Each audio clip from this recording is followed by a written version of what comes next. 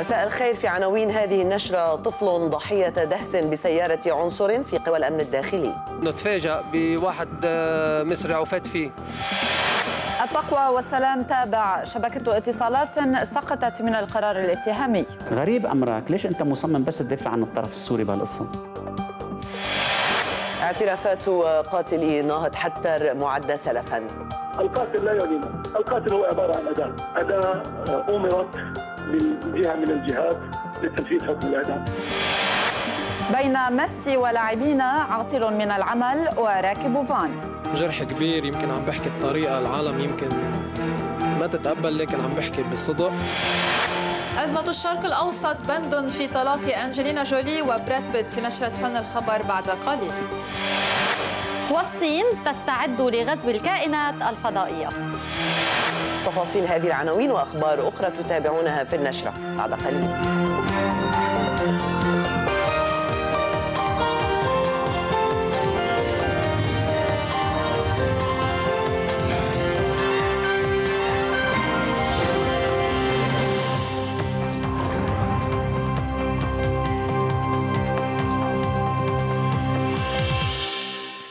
أهلا بكم.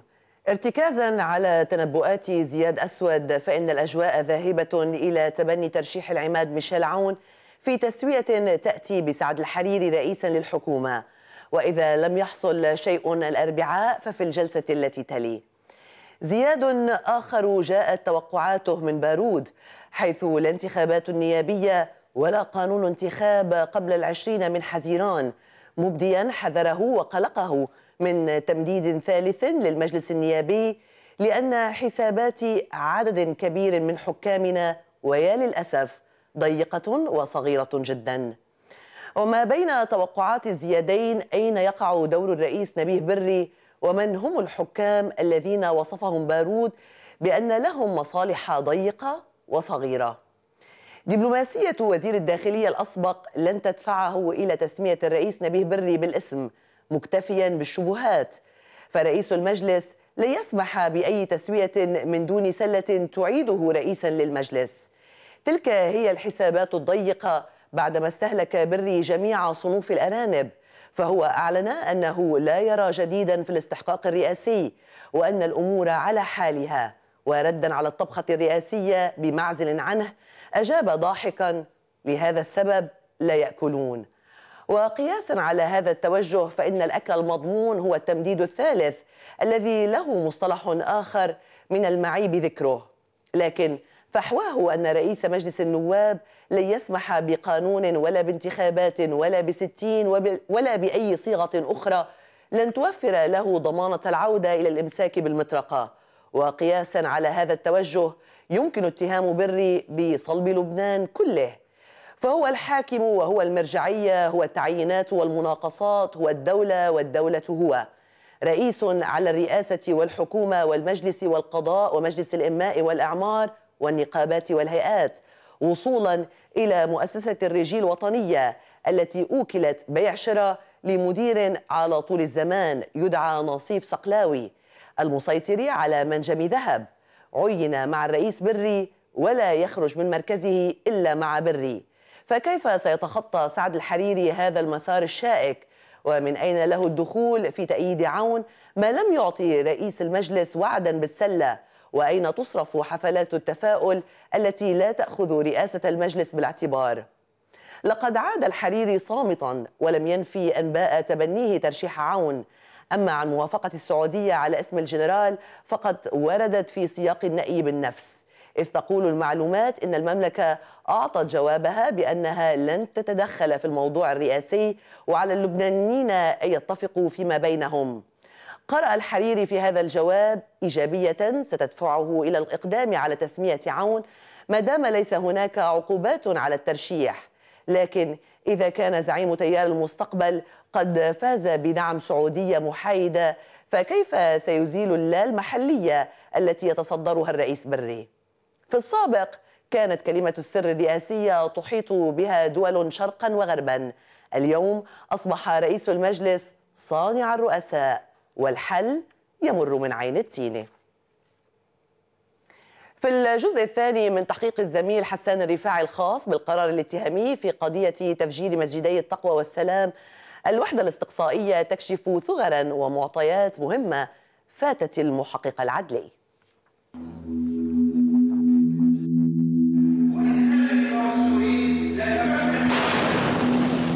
لأول مرة يمكن من الجرائم الكبيرة اللي صارت بلبنان لأول مرة في عنا مثل ما بيقولوا بالإنجليزي فيومينجان يعني في حدا ماسك بإيده الفرد واستطال على الدخان منه. دخان المسدس الذي يتباهى به وزير الداخلية الأسبق سرعان ما يتلاشى مع قرار الاتهامي في قضية تفجير مسجدي السلام والتقوى. فإذا كانت نيات النقيب السوري محمد علي قد تجلت من خلال تواصله مع شبكة أحمد غريب يبقى الرابط بين النيات والتنفيذ مبهما. يربط القرار الاتهامي النقيب السوري بتنفيذ التفجيرين من خلال خضر لطفي العيروني الذي تلقى رسائل نصية على رقم سوري تعرض عليه سيارة تتطابق والتي استعملت في التفجيرين ليضاف إلى الأرقام التي نسبت إليه رقم آخر لبناني. تقول التحقيقات أنه تواصل عبره مع النقيب السوري ليبرز مع هذا التفصيل أسئلة عدة لعل أهمها أن التحقيق لا يذكر كيف نسب الرقم اللبناني إلى العيروني علما أنه يذكر أن الرقم السوري قد جرى تحديده من خلال شهادة الشهود. مجددا هذا هو الرابط الوحيد بين النقيب السوري والتفجيرين. لا إذا في ناس مثل بالمعلومات آه، عندهم هالطاقة الطاقات العلمية المعروفة وقدروا تثبتوا معناتها عندهم الوسائل ليثبتوا أمام المحكمة كيف قدرت تثبتت على هامش السؤال عن رقم العيروني يذكر التحقيق أن أحد الأرقام المستعملة في مرحلة تهريب السيارات إلى لبنان جرى شراؤه من منطقة باب الرمل في طرابلس بموجب هوية مزورة فيما يذكر أيضا بالتفاصيل أرقام المنفذين الآخرين من دون ذكر كيفية تحديد هويتهم ما يوحي بأنهم استعملوا أرقاما مسجلة بأسمائهم فهل فعلوا ذلك حقا؟ ولماذا لم يوضح هذا الأمر في القرار الاتهامي؟ أنا ما عم تفوت بموضوع تقنيات أنا ما, ما, ما لا أدعي إني بعرف فيها تفصيليا وهي بتركها للقضاء القضاء حياخذ مستشارين حيجيب خبراء هن يقولوا له إذا هالشيء ثابت أو غير ثابت أو يمكن ما عندهم إياهم بالكامل عندهم معطيات عنهم حطون للمحكمة تكمل تكمل دورها. بالعودة إلى عمليات شراء السيارات تظهر ثغرة أخرى. فيقول المحقق العدلي أن الفورد إكسبيديشن التي انفجرت أمام مسجد السلام وصلت إلى العيرون بعد سلسلة مالكين فهو اشتراها من المدعو علي نصر شمس عبر شقيقه مصطفى. من دون تحديد آلية الشراء هذه إن كانت عبر وكالة أو عملية بيع وشراء. علما أن القرار لا يذكر أي تفاصيل عن الشقيقين شمس لا رقم سجل ولا اسم والدتهما ولم يتم حتى استدعاءهما للتحقيق. فكيف جرى التثبت من عملية البيع هذه؟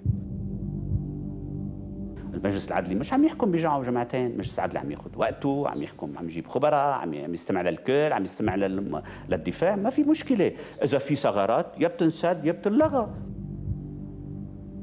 الثغر التي بددت دخان يقين فتفت يظللها رقم أخير لم يرد ذكره وهو الرقم المربوط بالعبوة والذي اتصل به لتفجيرها. وهو الرقم الذي قد يكشف جميع تحركات السيارة المنفجرة وهو الدليل الدامغ على كل من ورد تورطه في القرار. إذا كانت بعض الهواتف التي آه، تبين أنها آه، مرتبطة بالجريمة ولم تذكر في القرار الاتهامي فأنا أعتقد هذا أمر آه، يدل على نقص. ليبقى السؤال الأبرز عن كيفية تحديد هوية النقيب السوري. ومدى صحة انتمائه إلى الاستخبارات السورية. وبخاصة أن المحقق العدلي لا يذكر أن الجهات الرسمية اللبنانية طلبت إلى الدولة السورية كشف صاحب الأرقام التي نسبت إلى النقيب. ولا حقيقة وجود هذه الشخصية في أحد أجهزتها الرسمية. يفترض أن يكون هناك تواصل بين النيابة العامة اللبنانية والنيابة العامة في الجمهورية العربية السورية. هل حصل هذا؟ غريب أمرك. ليش أنت مصمم بس تدافع عن الطرف السوري بهالقصة؟ قد لا يدرك من اتهمنا بالدفاع عن النظام السوري أن الثغر هذه لن تكون سوى نافذة هروب للمتهمين وأن الثغر التي بني عليها القرار الاتهامي ستعرقل سير العدالة. وستفرض على المحكمة إعادة البحث عن التفاصيل في تحقيق استغرق ثلاث سنوات. تفاصيل أغفلها المحقق العدلي على حساب مقدمة شعرية توصف معاناة الفيحاء والتي أضاف إليها بإغفاله هذا سنوات عدة بانتظار العدالة. غدا هل ظلم القرار الاتهامي تحقيقات فرع المعلومات؟ قدرت صحيفة لوموند الفرنسية موارد حزب الله المالية بما يتراوح بين 200 مليون و500 مليون دولار فيما تتراوح موارد داعش من مليار ونصف ومليارين وثلاثمائة مليون دولار سنويا. فضلا عما يجنيه داعش من عائدات الثروة النفطية التي وضع اليد عليها في العراق وسوريا والسلاح الذي يتلقاه من الدول المجاورة. وفيما يواجه حزب الله منذ سنوات حملة أمريكية لتجفيف منابعه الاقتصادية والمس بقدراته بشكل كبير فإلى أي مدى أدت هذه الإجراءات إلى تراجع في موازنة حزب الله؟ تقرير للزميلة دارين دعبوس. نحن يا خيي على رأس السطح موازنة حزب الله ومعاشاته ومصاريفه وأكله وشربه وسلاحه وصواريخه من الجمهورية الإسلامية في إيران تمام؟ منذ تأسيسه عام 82 لم يخجل حزب الله يوما من الاعتراف بمصدر تمويله لكن موازنة هذا الحزب الذي شغل العالم تبقى سرية التفاصيل لكونه يعمل خارج نطاق النظام المصرفي العالمي فتمر أمواله عبر وسائل خاصة به لا يلحظها النظام المصرفي الأمريكي.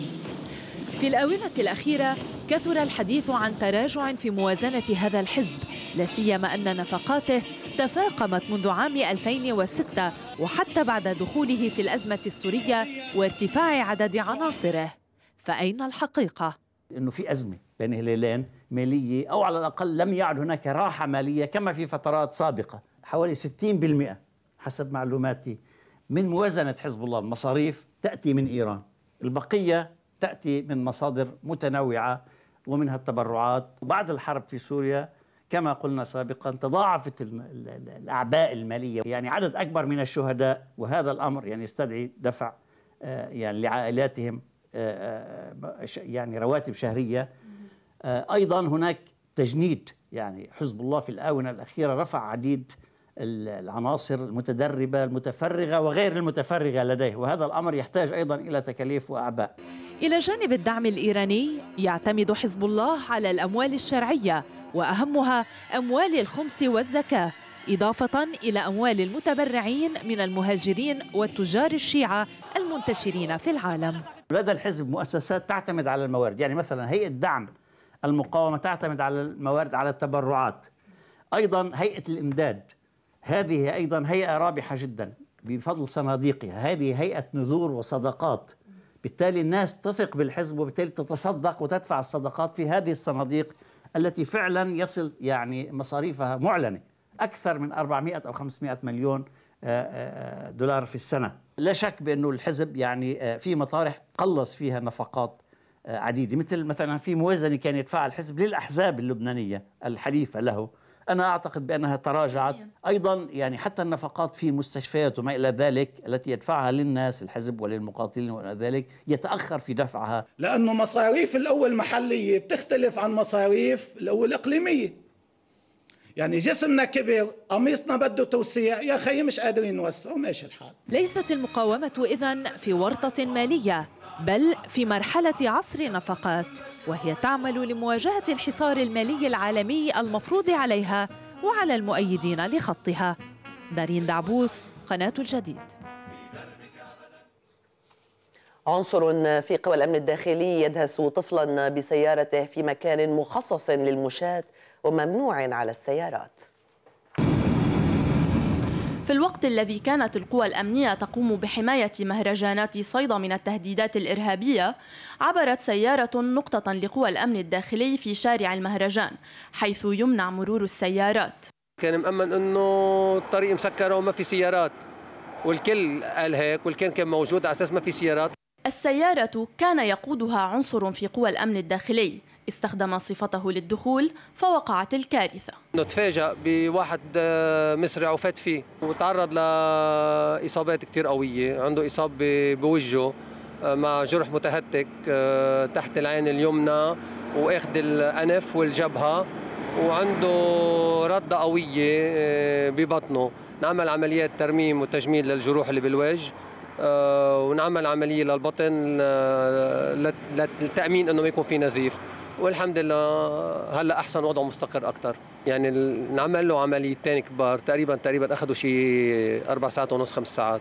حاولنا الاتصال باللجنة المنظمة للمهرجان إلا أن المسؤولة الإعلامية رفضت التعليق فيما فتحت القوى الأمنية تحقيقا في الحادث. لازم اللجنة كانت تقدم طلب لمحافظ الجنوب بقطع بعض الطرقات نتيجة هذا النشاط رالي بيبر ما صار في عندنا طرقات. نحن أخذنا مبادرة فقط على الطريق البحرية لقطع طريق خلال الانطلاق لأنه اوتوستراد سريع وخلال العودة. إذا في حال سمحوا لهيدا العنصر بالذهاب من مكان مقفل في تحقيق آه، مسلكي فتحته آه، سرية صيدا للتأكد من صحة هذا الخبر. منية التقيد بالسلامة المرورية أنه لو حاطط كاسك هالصبي ممكن مثل ما قلنا يعني قبل يمكن لو غير عسكري ما جيتوا لعنا يمكن. تحاضر قوى الأمن الداخلي بالسلامة المرورية وتكاد تحمل طفلا في مكان ممنوع على السيارات مسؤولية دهسه بسيارة عنصر عديم المسؤولية من عناصرها. حلو نعيش بمسؤولية بلش نهارك باحترام القانون نفذ ثم طالب. هند الملاح قناة الجديد.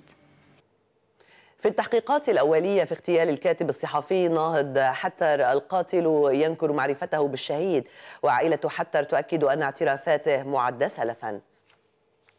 قصر العدل في عمان الذي كان مسرحا لسيل دماء القلم والفكر هو العدل الذي امتصت أدراجه دماء الكاتب الأردني ناهض حتر وهو الذي حضن على وقع الجريمة حشدا من المتظاهرين استنكارا لتغليب التطرف على الاعتدال واغتيال حرية الرأي والتعبير.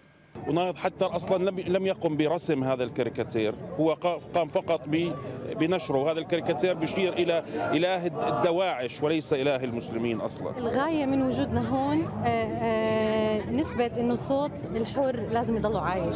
الصوت الأردني الحر. هذه المشاهد لم تمحى من ذاكرة ذوي المغدور الذين شاهدوا رصاصات القاتل التي أردت بابنهم ناهض شهيدا. الشهيد ناهض حتى قتل بدم بارد بتعاون من الجهات الحكومية. آه، وفرت الغطاء للقاتل ولم توفر أي حماية للشخص الذي تم اغتياله وهو الشهيد ناصر. آه، كانت الدولة غائبة تماما. تم تفتيشنا إحنا كأفراد عائلته كرفاقه اللي حواليه وتفتيشه ولكن لم يتم تفتيش الشخص أو الشخص الذي كان موجود أمام باب المحكمة من الساعة الثامنة. دخلت قبلهم لكي أتفقد الوضع داخليا. تفاجأت فورا بسماع صوت طلقات نارية. فركضت متوجها إلى المدخل وإذ بشهيدنا البطل مدرجا بدمائه. ولم يتدخل أي رجل أمني لمساعدتنا. تدخلت فقط لغير صبيه متدربة تمريض. ابنه وانا ركضنا لكي نلقي القبض مع كم شخص من الأمن على القاتل آه، اللي كان موجود هناك. حاولت أن أمسك به ولكن منعوني رجال الأمن. أنا وابنه المعتصم بالله أمنوا الحماية الكاملة للقاتل ولم يؤمنوا الحماية. كان خوفهم على القاتل أن يتم إيذائه ولم يؤمنوا الحماية للشهيد البطل. المدير العام لمحكمة الجنايات الكبرى وضع القاتل أمام ثلاث تهم. هي تهمة القتل العمد مع سبق الإصرار جناية القيام بعمل إرهابي أدى إلى موت إنسان وحمل وحيازة سلاح ناري من دون ترخيص. وهذا ما يضعه أمام حكم الإعدام شنقا بحسب قانون العقوبات الأردني. فهل هذا الحكم يجعل عائلة حتر تستلم جثمان ابنها؟ لا أصدق أي شيء يصدر حاليا. من الحكومة. أنا لا أعلم. تم توفير المسرح للجريمة ملحقات الجريمة وماذا يجري خلف الكواليس نحن لا نعلم عنه أي شيء. كل ما هنالك أنه تم التحضير للجريمة بدم بارد برعاية حكومية. التحقيقات الأولية كشفت أن القاتل لم يكن يعرف أو يسمع بالكاتب حتر وأنه خطط لارتكاب الجريمة بعد إعادة نشره الكاريكاتيرا على صفحته على فيسبوك. كما أنه علم بموعد جلسة محاكمة حتر من خلال مواقع الإلكترونية. فاشترى مسدسا قبل أسبوع وتوجه إلى قصر العدل وانتظره قرابة ساعة لرؤيته متوجها نحوه وفتح النار عليه. وبحسب المصادر فإن القاتل ليس نادما على قتل حتر وذلك لمسه الذات الإلهي. هذا الشخص الذي قتل معه هذا كان آه لأربع سنوات يقاتل مع آه داعش في آه خارج البلاد. وذهب إلى السعودية وقام بالحج ورجع للأردن وعين في وزارة التربية والتعليم. القاتل لا يعنينا. القاتل هو عبارة عن أداة. أداة أمرت من جهة من الجهات لتنفيذ حكم الإعدام. طالب الشهيد مرارا بالحماية إثر تعرضه للتهديدات إلا أن الطلب قوبل بالرفض بذريعة أن أمن الشهيد من مسؤوليته فغاب حتر وغاب العدل معه. رواند أبو خزام قناة الجديد. الفائز في الانتخابات الرئاسية في الولايات المتحدة 2016 المقرر إجراؤها يوم الثلاثاء في الثامن من تشرين الثاني سيكون الرئيس الخامس والأربعين للولايات المتحدة. وسوف تمتد ولايته الرئاسية إلى عام 2021 والولايات المتحدة تنتخب رئيسها عبر نظام المجمع الانتخابي بدلا من تصويت مواطنيها مباشرة. وليفوز المرشح يجب أن يحصل على 270 صوتا على الأقل. المرشحان النهائيان هيلاري كلينتون ودونالد ترامب في مناظرة تلفزيونية مرتقبة. قلم وأوراق فارغة وكوب من الماء. هي أسلحة المرشحين دونالد ترامب وهيلاري كلينتون في المناظرة الأولى. ضمن ثلاث مناظرات ستجرى قبيل إجراء الانتخابات الرئاسية في الولايات المتحدة. فتطرح الأسئلة عبر ثلاثة مديرين للمناظرة ووسائل التواصل الاجتماعي. في الوقت الذي سيكون لكل مرشح دقيقة واحدة للإجابة فقط. فيما كانت المناظرات تبدأ بمداخلة لساعة تليها 90 دقيقة من الرد ثم 30 دقيقة للرد على الرد.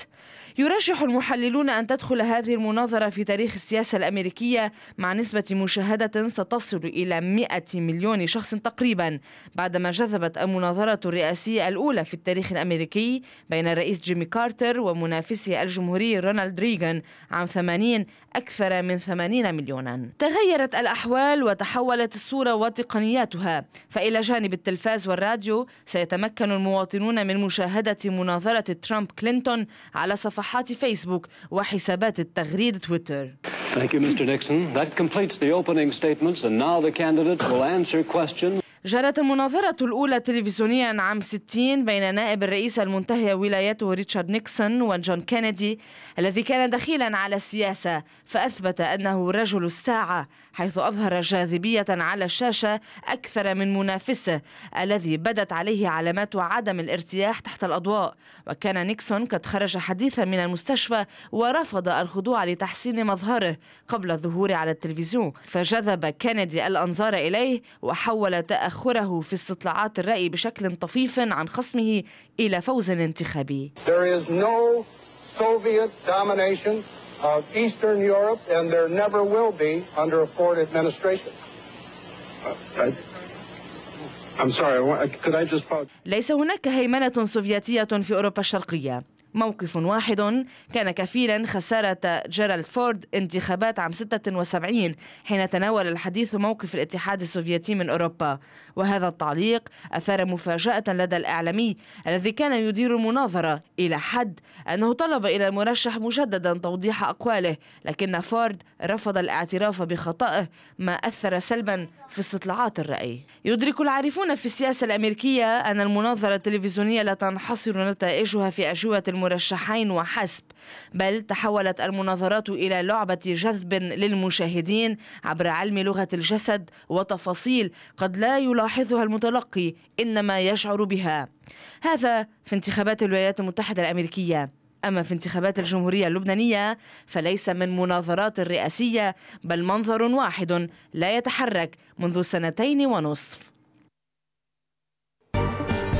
بعد الإعلان ضحية رصاصة طائشة بالتفاح جئناكم ولبناني يرفع أثقال ألمانيا.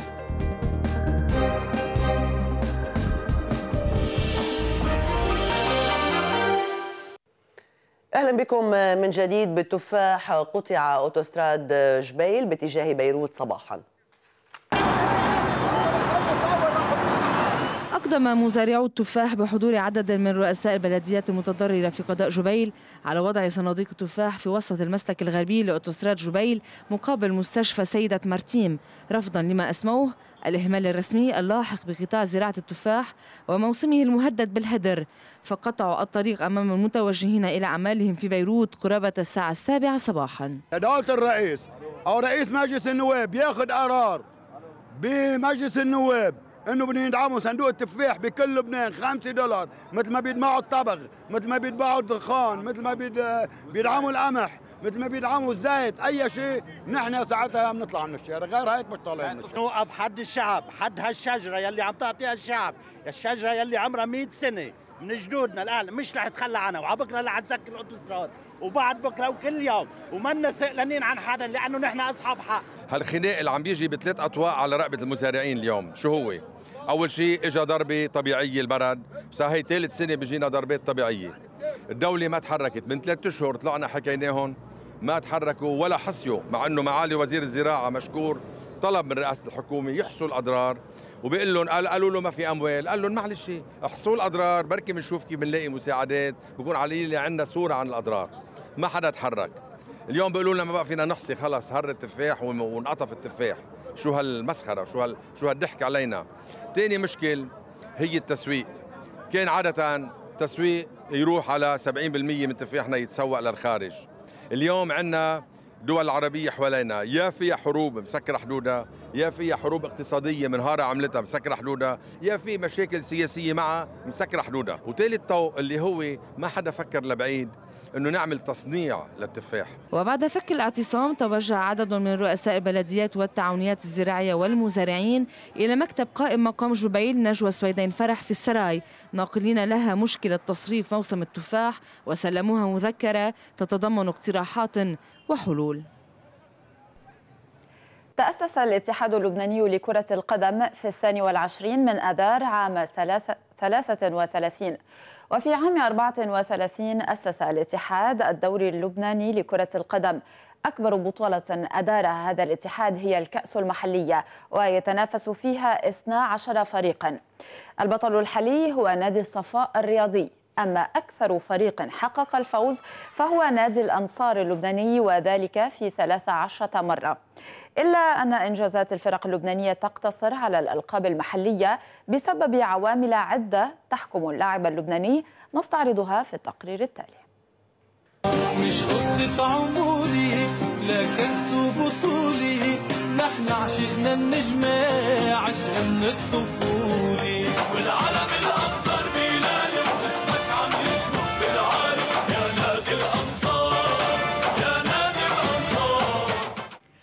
هم نجوم كرة القدم في لبنان.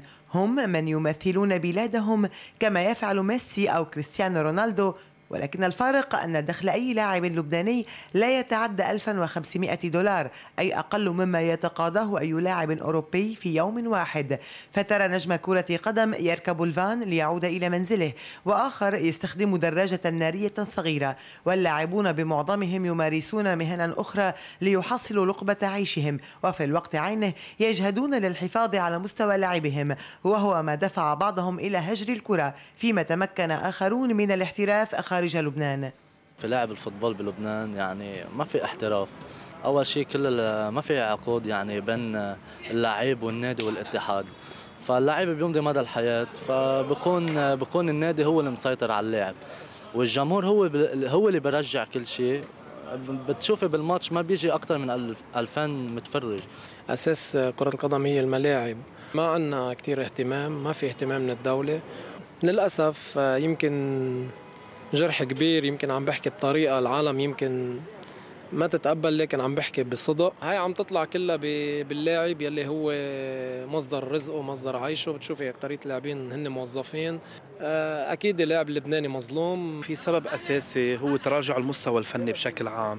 هذا بيؤدي إنه عدم اهتمام كل الشركات الراعية بهاللعبة. ما عم بيقدر اللاعب يعيش إلا من الإيرادات أو من راتبه اللي بياخده بكره القدم. الاتحاد بده يكون آه، يطبق نظام الاحتراف اللي هو كل الدول عم بتطبقه بس يطبقه بتنعكس تطبيقه أو بيجبر الأندية يطبقوا هالاحتراف.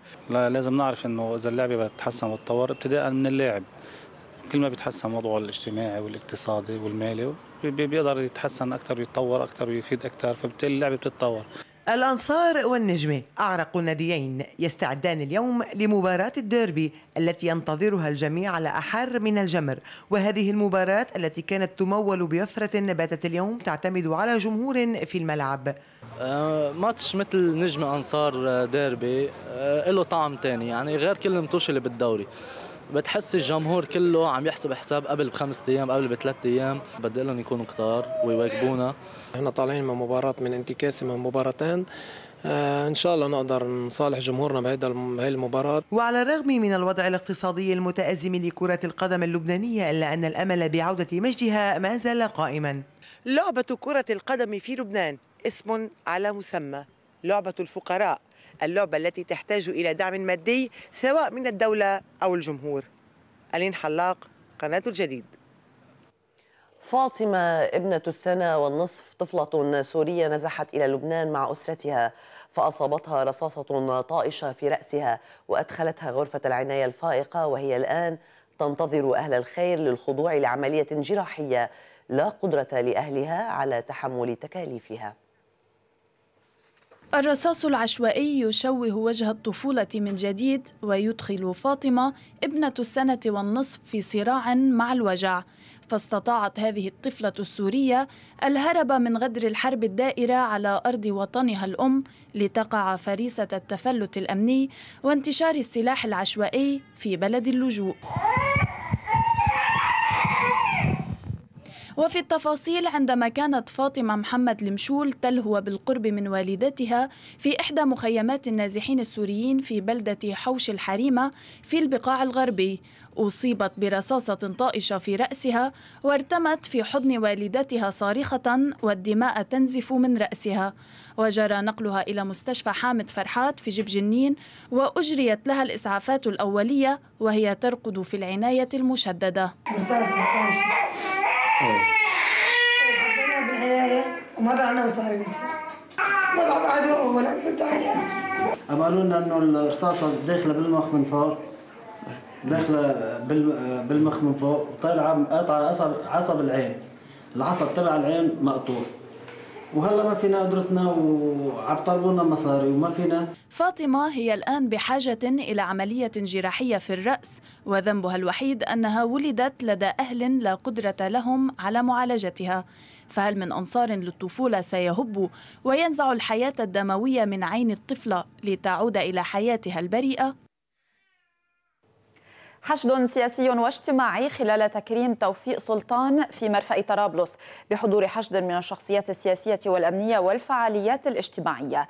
مجلس مصلحة استثمار مرفأ طرابلس يكرم السيد توفيق سلطان في مناسبة توقيع الوزير غازي زعيتر المرحلة الثانية من مشروع تطوير مرفأ طرابلس والذي حضره رئيس الهيئة القابضة للنقل البحري والبري في المملكة الأردنية الهاشمية. ورئيس الحكومة المصرية السابق عصام شرف والأمين العام لاتحاد الموانئ البحرية العربية. شرفتني مصلحة استثمار مرفأ طرابلس بتكريمي على رغم أنني لم أقم إلا بأقل الواجب تجاه مدينتي الحبيبة. المحرومة والمستهدفة منذ ما يقارب 100 عام أعني منذ إعلان دولة لبنان الكبير. اليوم ونحن نحتفل بمرحلة جديدة في بناء البنى التحتية. لابد من الإشارة إلى أن هذا المرفأ له مميزات تفتقر إليها غالبية المرافق. فوجود محطة السكة الحديد في حرمه والمساحة الكبيرة القابلة للزيادة وموقعه سيوفر فرص عمل لمحيطه في عكار وصغرته والكورة والضمنية وطرابلس. إن الاهتمام الملحوظ من جانب الدول الأجنبية. والهيئات الدولية وزياراتهم المتكررة للمرفأ لدراسة إمكاناته يؤكد أهمية أهميته الاستراتيجية للقيام بدور منتظر لإعادة أعمار ما هدمته الحروب في المنطقة. ابن الجنوب أيمن حماني يمثل لبنان في بطولة رفع الأثقال المقررة في ألمانيا. يتوجه بطل رفع الأثقال اللبناني أيمن أنيس حماني في الثامن من الشهر المقبل إلى مدينة هينشيم الألمانية في إعداد المنتخب الوطني لتمثيل لبنان بدعوة رسمية من الاتحاد الألماني لرفع الأثقال ووزارة الشباب والرياضة. حماني ابن الثامنة والثلاثين عاما من بلدة الدوير الجنوبية حقق إنجازات في بطولة لبنان في رفع الأثقال عامي 2010 و2016 بطل الجنوب في أعوام 2008 2009 2010 الإنسان بس تتوفر عنده الإرادة والتصميم ويكون حاطط عنده رؤية واضحة ويتابع قادر يوصل. ومثل ما وصل إحنا إن شاء الله رح نوصل من بطولات الجنوب إلى بطولات لبنان إلى البطولات العالمية. وكله هيدا بفضل الله وبفضل متابعه واشراف رئيس اتحادنا اللي دائما هو الساهر علينا الأستاذ حسنان مقلد يواظب حماني على التدرب والتدريب في آن واحد. صفحة أخبار محلية متفرقة في هذا التقرير.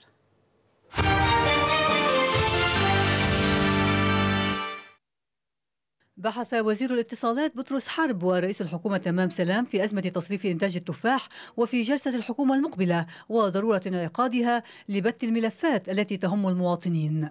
وتعطيل مجلس وزراء من قبل أي فريق سيؤثر على حاجات الناس وعلى مشاكل وعلى على ما يمكن الناس أن يكون لهم من أمور بدها تصريف.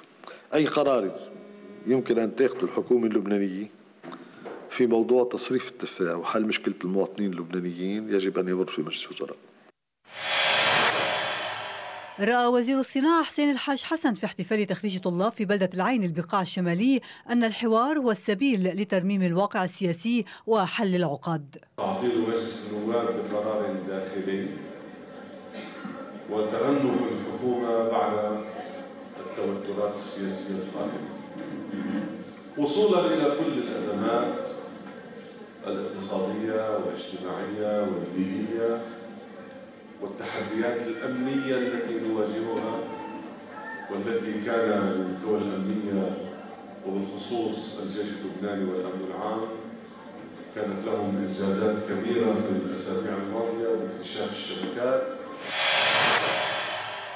ادعى وزير البيئة محمد المشنوق لدى المحامي العام البيئي في البقاع القاضي محمد مكاوي على كل من يظهر التحقيق فاعلا أو شريكا أو متدخلا في إضرام النار في معمل فرز ومعالجة النفايات في بعلبك الذي كان قد شيد بهبة من الاتحاد الأوروبي. وللغاية عقدت النقابات والاتحادات والجمعيات التجارية والعمالية والزراعية في البقاع اجتماعا في مركز النقابات العمالية في بعلبك. استنكر فيه المجتمعون جريمة حرق المعمل الذي جرى تجهيزه بتكلفة خمسة ملايين يورو عقد اتحاد نقابات المزارعين في لبنان ونقابتي مزارعي القمح في البقاع والبقاعين الأوسط والغربي في مركز الاتحاد في بعلبك اجتماعا تدارسوا فيه موضوع عرقلة تسلم القمح المهدد بالتلف بسبب تساقط الأمطار ولوح المجتمعون بالتصعيد في الشارع في حال عدم استجابة المعنيين لمطالبهم. برعاية قائد الجيش شهد ثكنة جان وهبي في الصالحي شرق صيدا تدشين حديقة شهداء الجيش وإزاحة الستار عن النصب التذكاري فيها تحية لشهداء الجيش. وفي قضاء مرجعيون أزاحت بلدية برج الملوك الستار عن النصب التذكاري للشهيد المعاون عامر حاتم يوسف الذي استشهد بانفجار عبوة ناسفة زرعها الإرهابيون قرب بلدة عرسال في أذار المنصرم. أما الآن فننتقل إلى فن الخبر مع زميلتي دارين شاهين. دارين مساء الخير. مساء النور داليا. يعني كل ال Brangelina news بتقول أنه القصص رايحة أبعد من أزمة الشرق الأوسط واصطحابها لأطفالها إلى مناطق الصراع بل أنه هي راسها على رأس الأمم عينها على رأس الأمم على مركز المتحدة. بان كيمون تحديدا. ما هيدي هي؟ هلا بدنا نشوف شو بده يكون رده لبان كيمون إذا كمان رح يشعر بالقلق.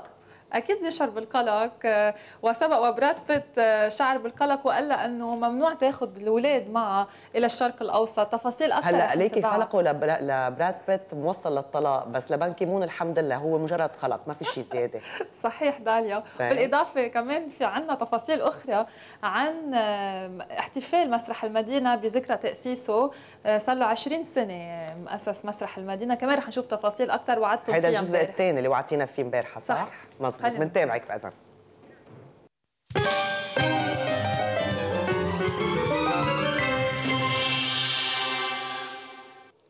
مساء الخير.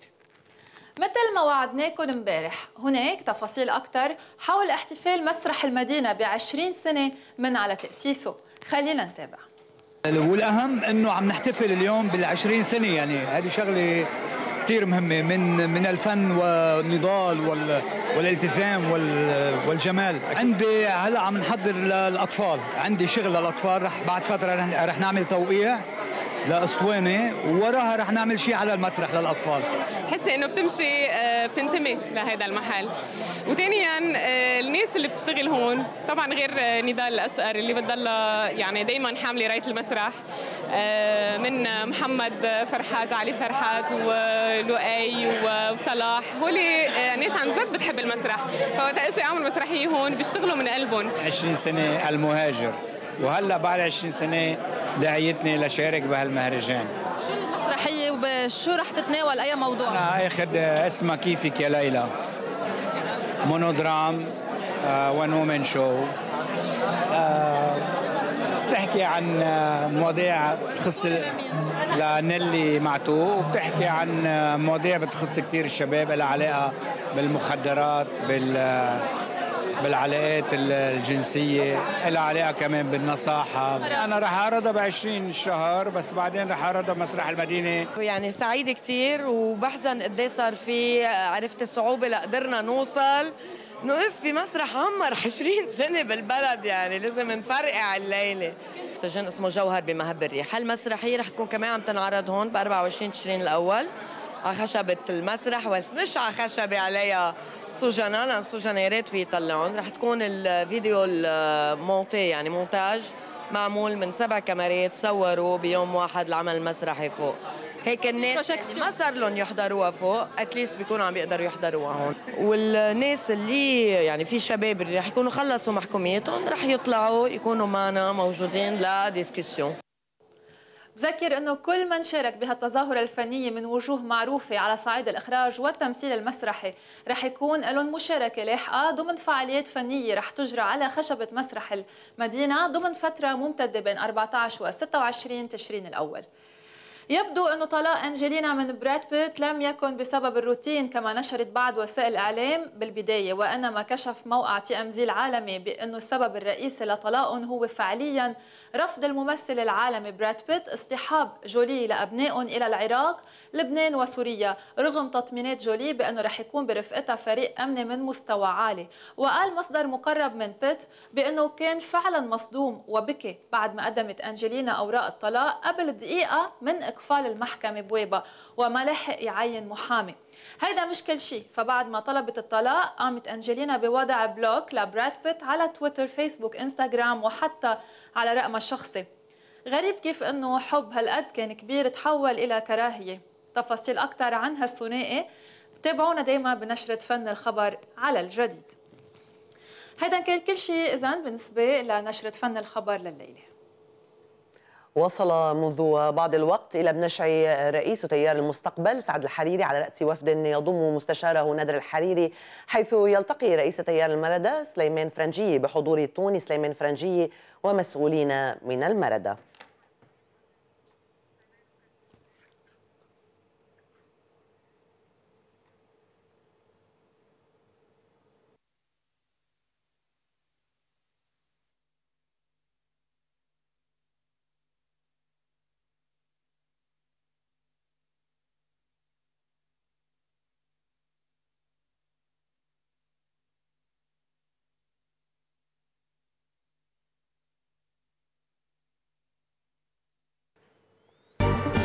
بعد الإعلان الأمير الصغير يخرق البروتوكول.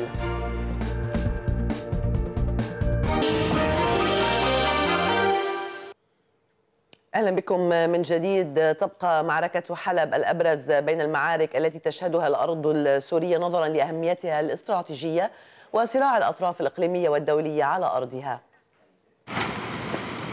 في الحرب كما في السياسة حلب هي محور الحل والصراع. ومع تبادل القصف الدبلوماسي الذي تمثل في مواجهة ميدانية في مجلس الأمن بين القطبين الروسي والأمريكي كانت المعارك تشتد على جبهة حلب.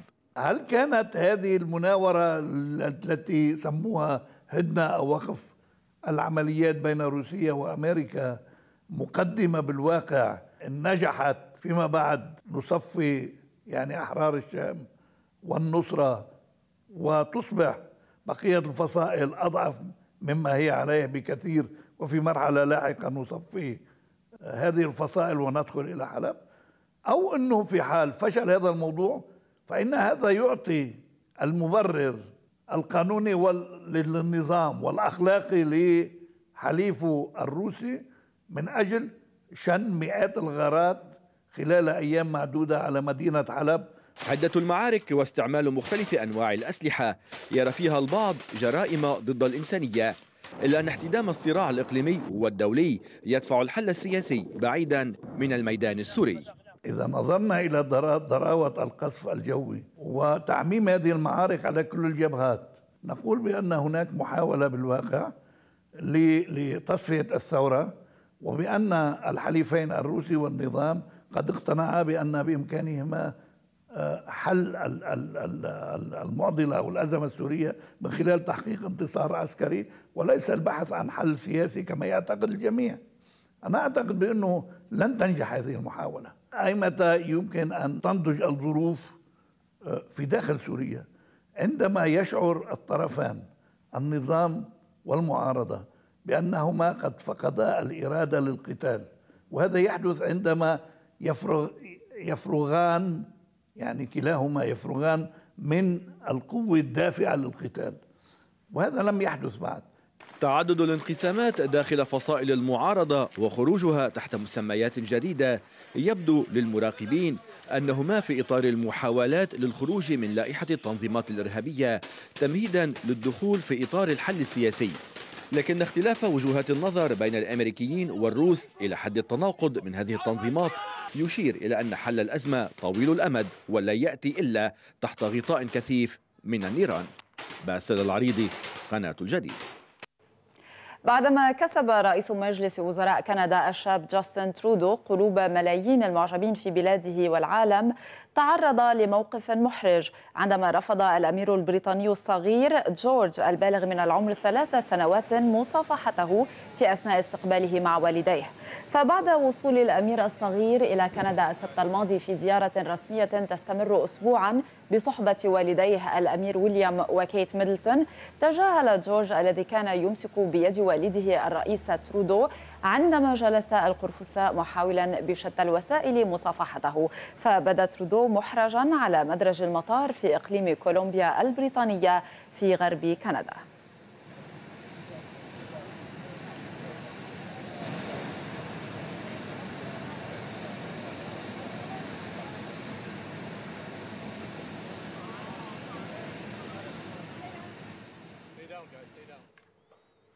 وإلى فقرة ترند مع زميلتي سارات سارات مساء الخير. مساء الخير داليا. أخباركم اليوم المختارة من مواقع التواصل الاجتماعي مهضومة سواء كنا عم نحكي عن السيلفي مع هيلاري أو عم نحكي عن جائزه نوبل لا للحماقة للحماقة العلمية. في هي, هي جائزة حقيقية وهي جائزة علمية لأهم وأغرب الأشياء يلي بتصير علميا يعني وبتخلينا نضحك بعدين بتخلينا نفكر شو هي شو أو شو المغزى من هيدي العمل العلمي. كمان عندنا صورة هيلاري كلينتون هي والسيلفي آه، يعني هيدي صورة العام فينا نقول آه، لأسباب كثيره خلينا نشوف مع بعض تابعونا. بنتابعك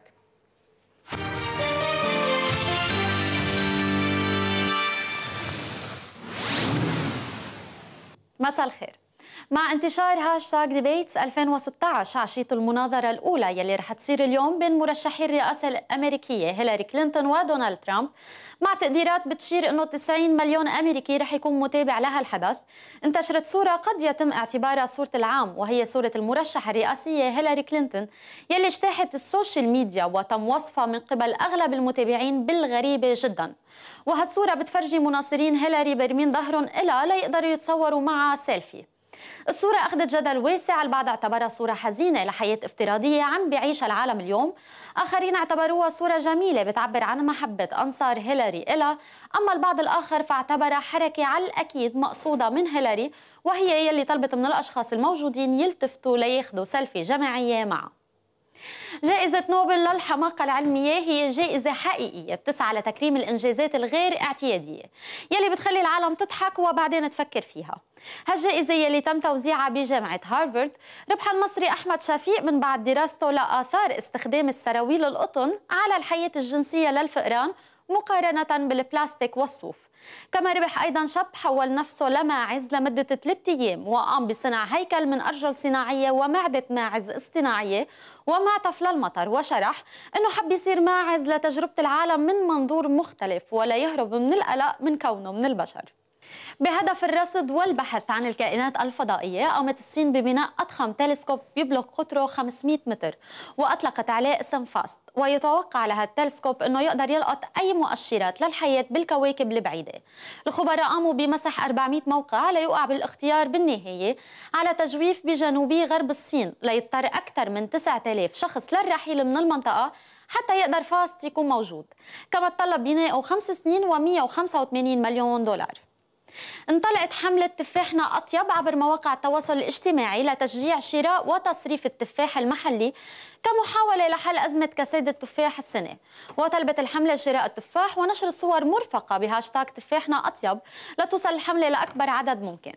ولهيك من Trends مشاهدينا نحن وصلنا لنهاية أخبارنا اليوم. لمزيد من التفاصيل وأخبار أخرى.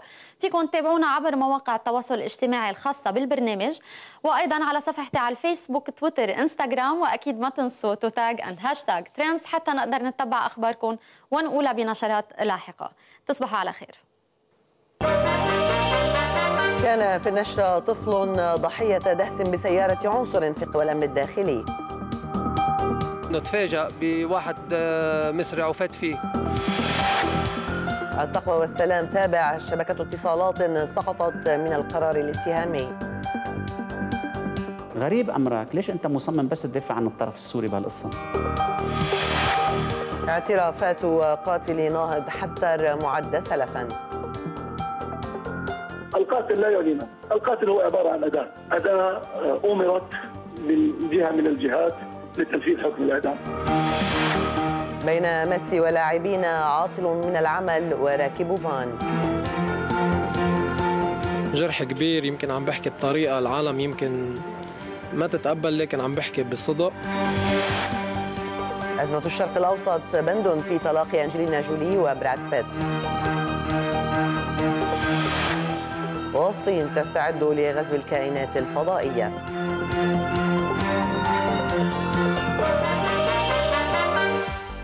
لمزيد من الأخبار تابعونا على موقعنا الجديد dot TV وعلى فيسبوك الجديد أونلاين وعلى تويتر الجديد news. كان هذا كل شيء نعود نلتقي بكم في نشرتنا الأخيرة لهذا اليوم عند الحادية عشرة والنصف. فدمتم بأمان الله.